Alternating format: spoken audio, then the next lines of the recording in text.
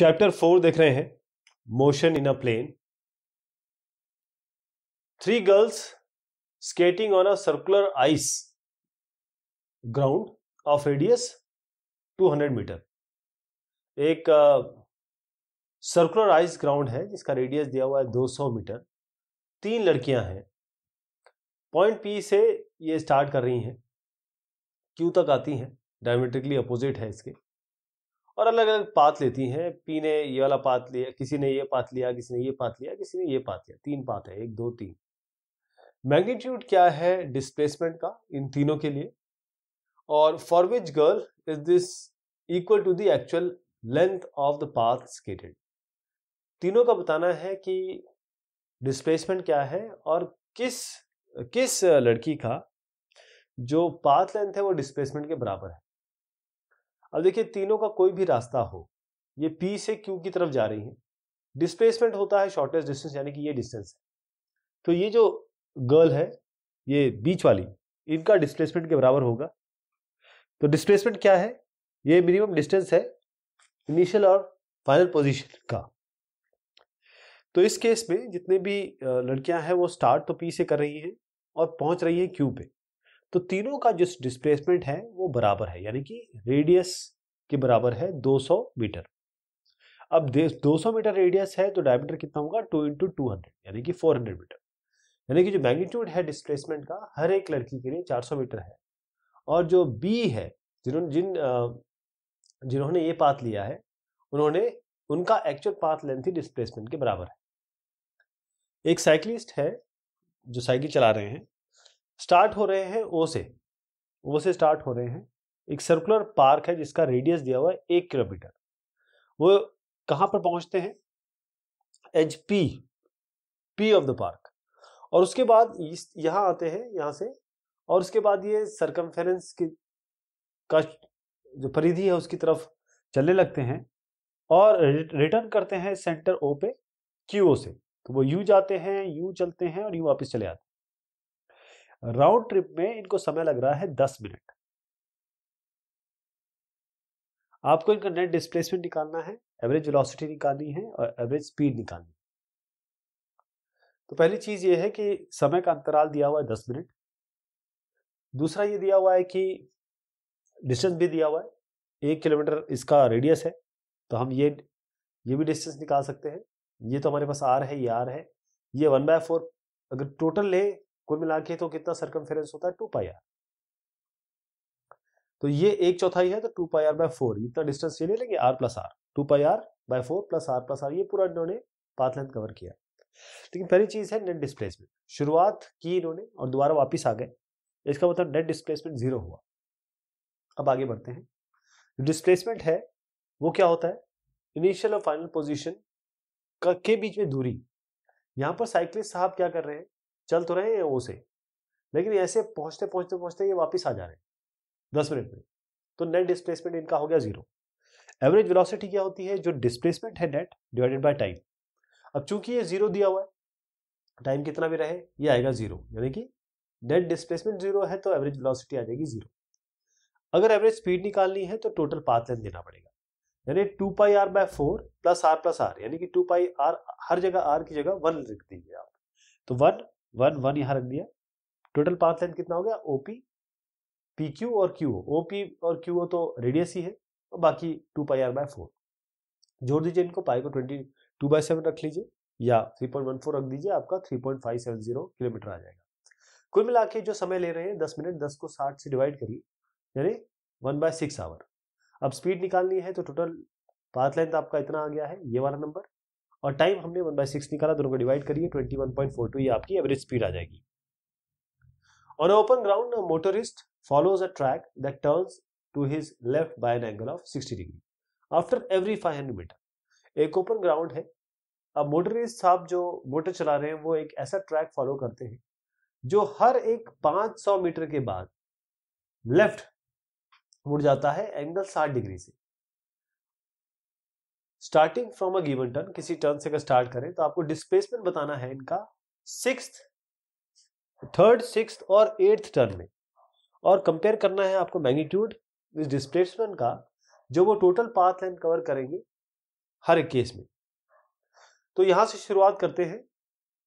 कहा, किसी भी पॉइंट से शुरुआत कर सकते हैं, बस आपको ये देखना है कि ये अगर यहाँ पर है तो कुछ ये दूरी चलते हैं 500 मीटर। उसके बाद ये सीधा 60 डिग्री पे मुड़ जाते हैं।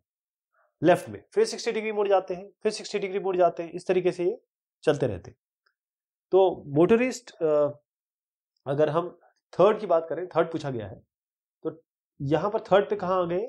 ये एक पहला पहला टर्न ये हुआ, दूसरा टर्न ये हुआ थर्ड टर्न यहाँ हुआ तो एस पे थर्ड टर्न ले रहे इसी तरीके से third fourth fifth six six turn ये हुआ और six seven eight eight turn ये हुआ। तो मैग्नीट्यूड क्या होगा डिस्प्लेसमेंट का? अगर हम इस P और S की बात करें, क्योंकि ये थर्ड टर्न यहाँ से ले रहे हैं तो इन दोनों को जोड़ दीजिए आप, इन पॉइंट्स को। ये होगा आपका शॉर्टेस्ट डिस्टेंस इनके बीच में। तो ये कितना हो जाएगा?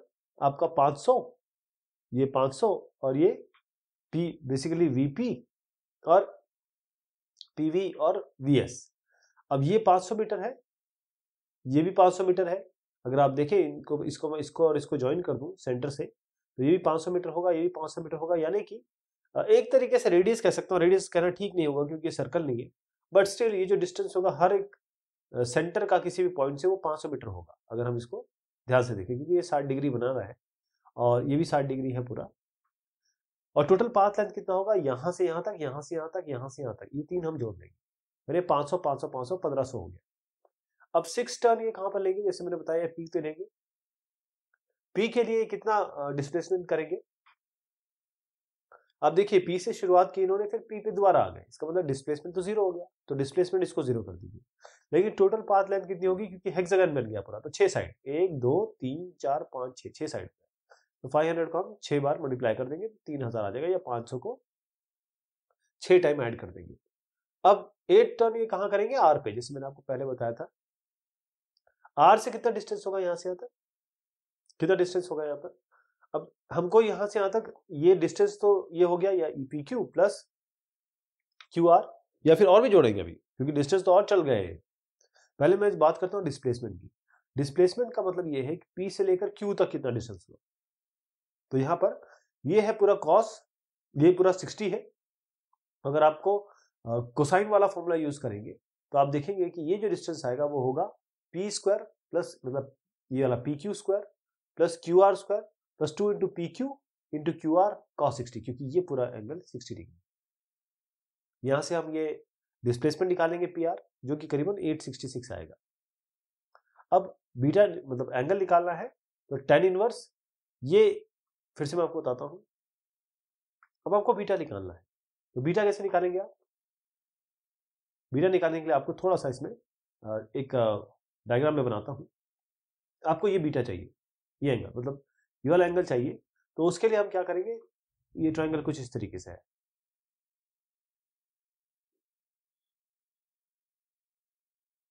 इस तरीके से।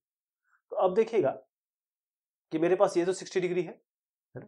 तो ये ये क्यू आर है तो ये कितना हो जाएगा? क्यू आर कॉस थीटा ये टोटल कितना हो जाएगा? P Q plus Q R Q R cos theta और ये कितना है हमारे पास? अगर हम परपेंडिकुलर ड्रॉप करें इसको तो ये परपेंडिकुलर भी हम निकाल सकते हैं। तो ये जो चीज़ निकाली हमने five five hundred sine sixty five plus divide by five hundred by five hundred cos sixty ये वाला आपका,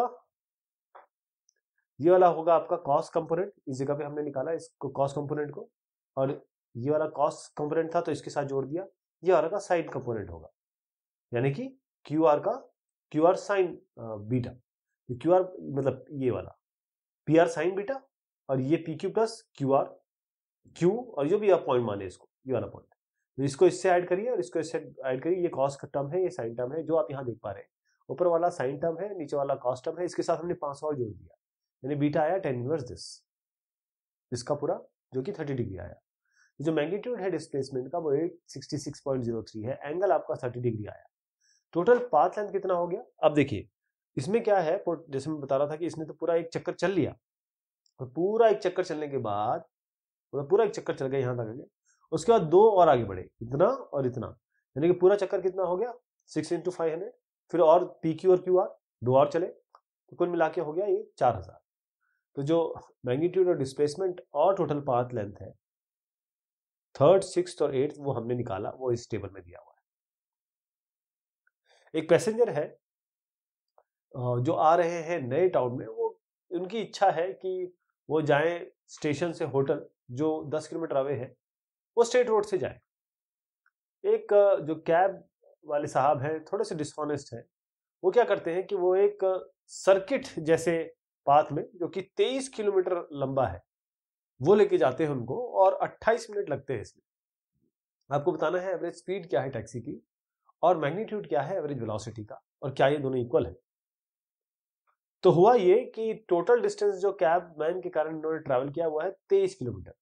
टोटल टाइम है 28 मिनट। 28 मिनट क्योंकि किलोमीटर में दिया हुआ तो 28 को 60 से डिवाइड कर दीजिए आवर में आ जाएगा। तो एवरेज स्पीड क्या हो गई टैक्सी की? कितना टोटल डिस्टेंस ट्रेवल किया और कितना टाइम यहाँ पर आ गया? तो तेईस बटे अट्ठाईस बाई साठ यानी कि फोर्टी नाइन पॉइंट टू है अब, इस तरीके से ये गए यू करके यहाँ पहुँचाया। लेकिन ये तो जाना चाहते हैं यहाँ से यहाँ तक, क्योंकि परपेंडिकुलर डिस्टेंस खुद बताया गया है कि दस किलोमीटर है। तो डिस्प्लेसमेंट कितना हुआ? दस किलोमीटर। और टाइम उतना? अट्ठाईस मिनट ही लगा। तो ट्वेंटी एट बाय सिक्सटी तो twenty one point four three तो जो दोनों फ़िज़िकल क्वांटिटीज हैं, ये इक्वल नहीं है। एवरेज स्पीड ज़्यादा है और एवरेज जो वेलोसिटी है वो कम है। पानी गिर रहा है वर्टिकली स्पीड इसका, इसकी दी है 30 मीटर पर सेकेंड एक महिला है, वो एक बाइसिकल चला रही है, उनकी स्पीड है 10 मीटर पर सेकेंड और ये चला रही है नॉर्थ से साउथ डायरेक्शन में। आपको बताना है कि किस डायरेक्शन में उनको अम्ब्रेला पकड़ना चाहिए ताकि वो भीगे ना। सवाल कुछ इस तरीके से है कि पानी इस तरीके से गिर रहा है। अब इसके लिए आपको ना north, south, east, west west ऐसे करके बनाना पड़ेगा। लेकिन अब क्या है कि यहाँ पर नॉर्थ, साउथ डायरेक्शन इस रेन का हमने कहा ये है। और जो वुमेन है वो राइड कर रही है बाइसाइकिल को, जिसका जिसका जो स्पीड है वो है दस मीटर पर सेकेंड। तो अगर हम इस रेन को वी आर माने और इनकी साइकिलिस्ट जो है वो उनकी उनका नॉर्थ साउथ डायरेक्शन में कुछ इस तरीके से माने तो वी सी हमारा वेलोसिटी साइक्लिस्ट की हो गई, ऐसी, और वेलोसिटी इनकी वी आर इस तरीके से हो गई। वर्टिकली मैंने बता दिया और वुमेन जो है वो इस तरीके से नॉर्थ साउथ डायरेक्शन में अपना स्पीड है इनकी तो अब छतरी कैसे पकड़ेंगे तो छतरी पकड़ने का जो तरीका होगा, अगर इनको बरसात से बचना है तो रिलेटिव वेलोसिटी देखनी पड़ेगी हम रेन की क्या है। तो ये अगर वी हमको निकालना है, ये वीसी है, ज़रा इसको माइनस कर लीजिए, क्योंकि ये इस डायरेक्शन में जा रही है। माइनस करेंगे तो ये डायरेक्शन हो गया माइनस वी सी हाँ? ये वी आर है। तो यहाँ पर ये वी क्या बनेगा? V R plus of minus V C यानी V R plus of minus V C यानी thirty plus of minus ten यानी कि ट्वेंटी। और टेन थीटा क्या होगा? ये एंगल क्या होगा? ये होगा वी सी ये बाय वी आर यानी कि दस बटे तीस। थीटा निकालेंगे tan inverse one by three जाएँगे तो ये आपका अठारह डिग्री आएगा। यानी जो महिला है उनको अम्बरेला पकड़ना पड़ेगा टुवर्ड्स साउथ एंगल क्या होगा? करीबन अठारह डिग्री वर्टिकल के साथ। एक साहब है वो स्विम कर सकते हैं, इनका स्पीड दिया हुआ है चार किलोमीटर प्रति घंटा स्टिल वाटर में।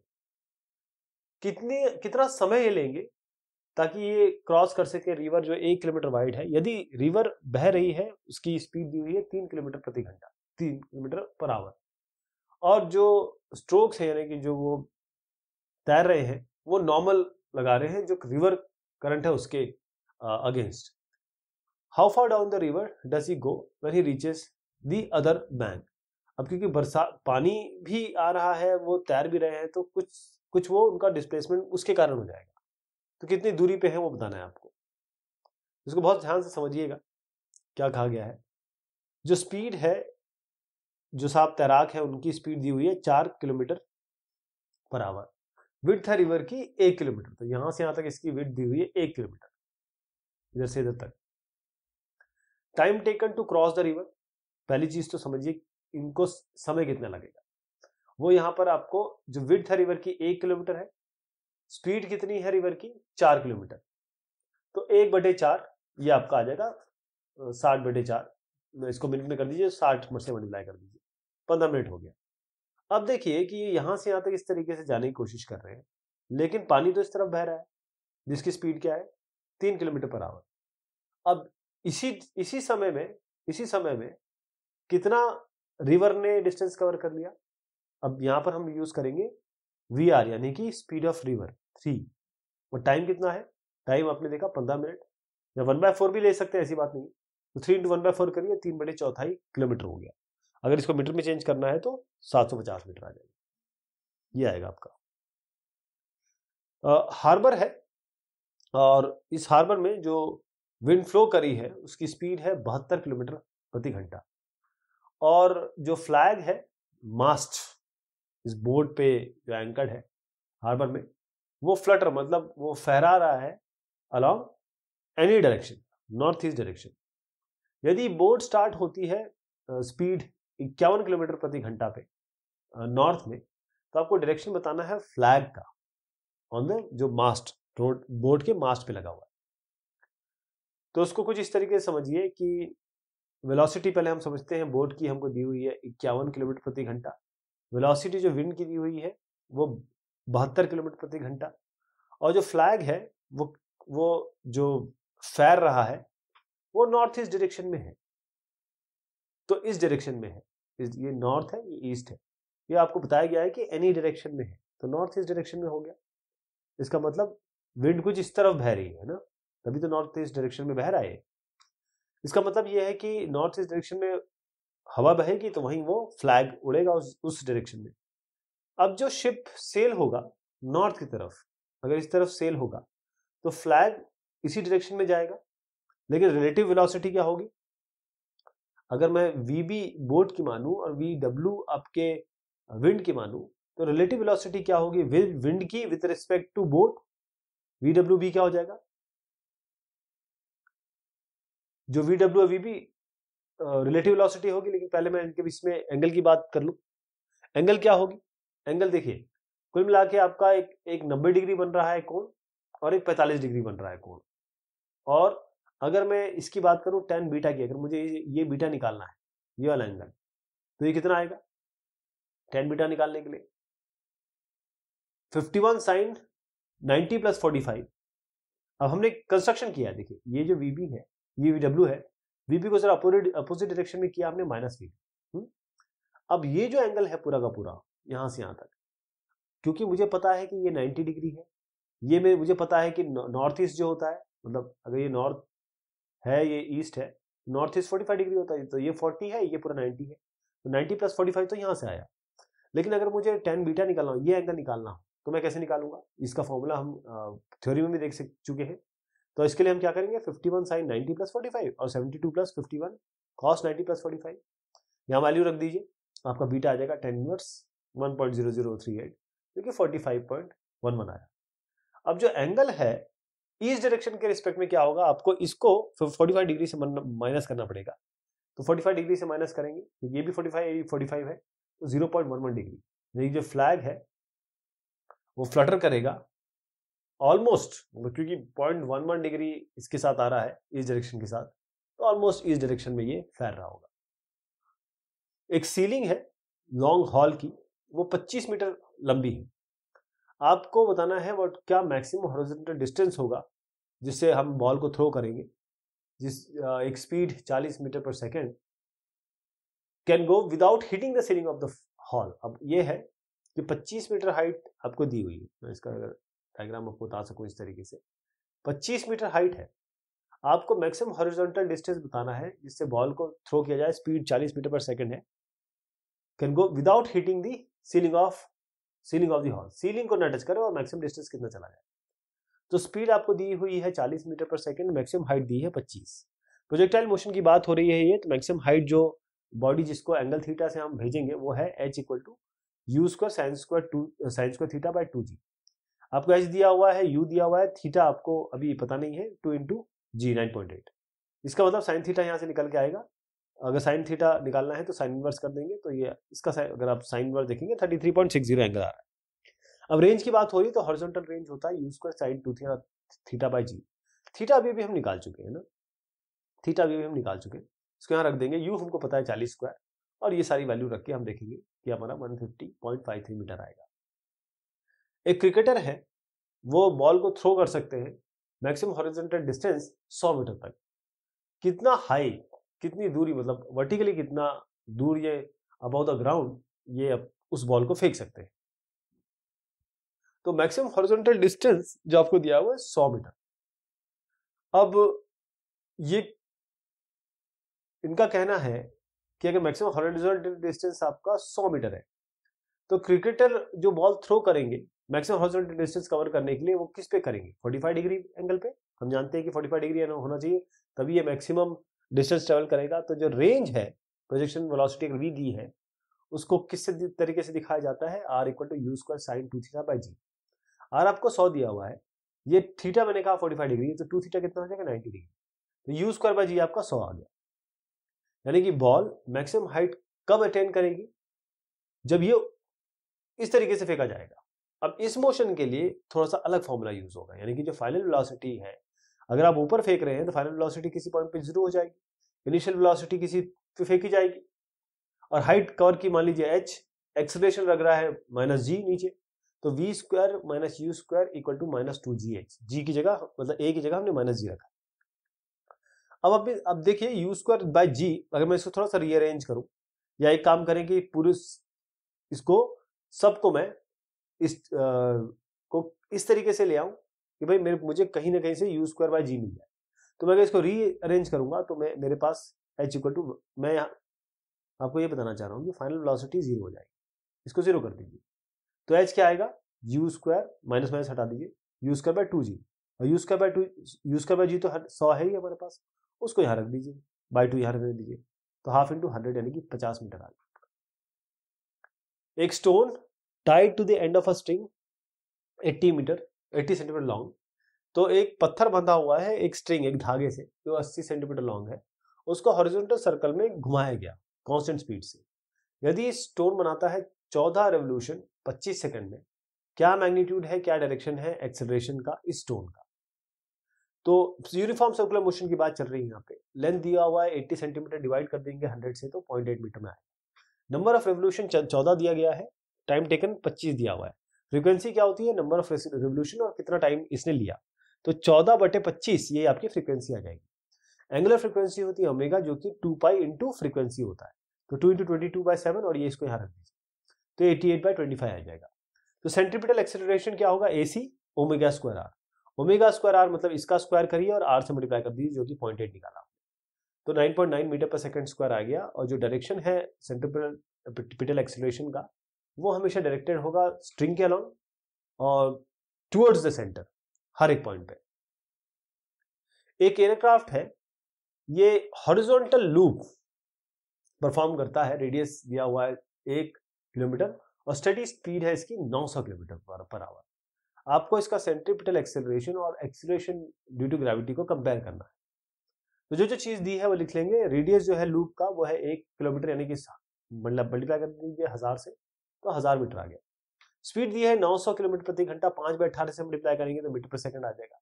अब हम जानते हैं सेंट्रीपिटल एक्सेलरेशन होता है V square by R V आपके पास है आर इस आपके पास है, ये आ जाएगा 62.5 एक्सेलरेशन ड्यू टू ग्रेविटी 9.8 है, दोनों को डिवाइड करिए आप मतलब ए सी बाई जी एक्सेलरेशन यानी कि centimetre acceleration divided by G दोनों को डिवाइड करेंगे तो 6.38 आएगा। ये कुछ और सवाल हुए इस टॉपिक के अभी हम और देखेंगे। तब तक के लिए शुक्रिया। मेहरबानी आप सभी की।